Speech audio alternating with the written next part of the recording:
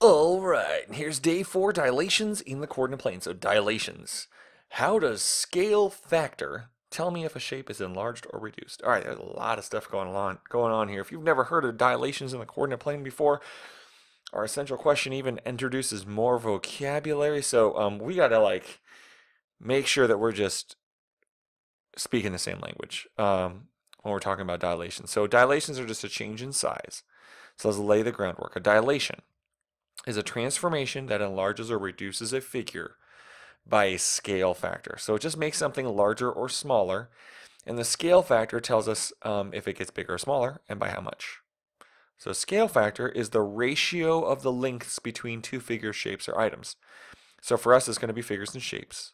Um, it can be real life items too. So like the scale on a map, um, the scale for a model, any of those things.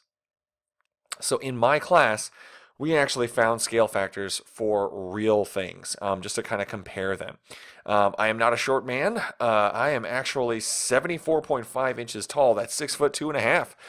So um, one way to think about this is by comparing my height to your height. Um, so if you're a typical eighth grader and you're somewhere in the neighborhood of five foot five, that would make you 65 inches tall. So I am definitely taller. So 74.5 over 65 would give you a scale factor. And that scale factor would be bigger than 1 because to get from your height, which is in this hypothetical situation 5'5", to my height, 6'2 and a half, you have to get larger. Um, so in my class, we went through and we measured foot to foot, height of to height, or weight. And I said, be honest, but a lot of people just said they were a thousand pounds, and it was great. Um, that's half a ton. Um, and your hand on another student's hand, just to just to mm, get an idea of what ratios mean and what they look like in real life. But uh, in uh, the coordinate plane, um, this scale factor of one half tells us something to do something very specific. Um, so the fraction says that we're going to get smaller and we're going to divide by 2. The numerator is 1, the denominator is 2. I'm going to take each of the, the coordinates for points and divide them by 2. So negative 4 divided by 2 is 2, uh, negative 2. Uh, negative 1 divided by 2 is negative half. And so on until I get all of these points. So here I have all of the points from the original shape and I have divided them by 2. And if I graph that on my other coordinate plane, you see that the shape gets smaller, much smaller. In fact, I have uh, a half of a point, um, negative one half. So I'm not even going down a whole box, um, which is fine. Fractions are numbers too, so it's not a big deal. Um, go ahead and practice this and you're going to be dividing when you see fractions. Okay, cool. And there's a lot of um, dilations practice floating around the internet. So if you want to Google up practice for dilations in the coordinate plane, that'll also be a huge help for you.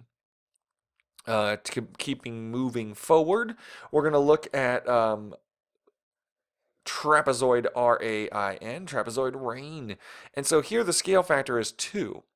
So that means it's going to get much larger. And so I'm going to multiply each of the coordinates in RAIN by 2. So negative 2 times 2, 1 times 2, 1 times 2, 1 times 2, 0 times 2, etc. And I will have the following points. And you can see Negative 2 became negative 4 because I multiplied by 2. 1 became 2 because I multiplied by 2. And if I graph those points, the shape, the trapezoid, gets much larger in the coordinate plane. And that's all a dilation is. It's a change in size. So much so I've got airplanes flying overhead. To help you remember. Yeah, that's right. Um, R-A-I-N, scale factor of positive 2 gets multiplied. Uh, highly suggest you look around the internet and find other practices to dilate shapes in the coordinate plane. But honestly, if you're in my class, that's the end of this uh, exploration. Write your summary. Make sure your table of contents are updated. Until next time, keep doing the math.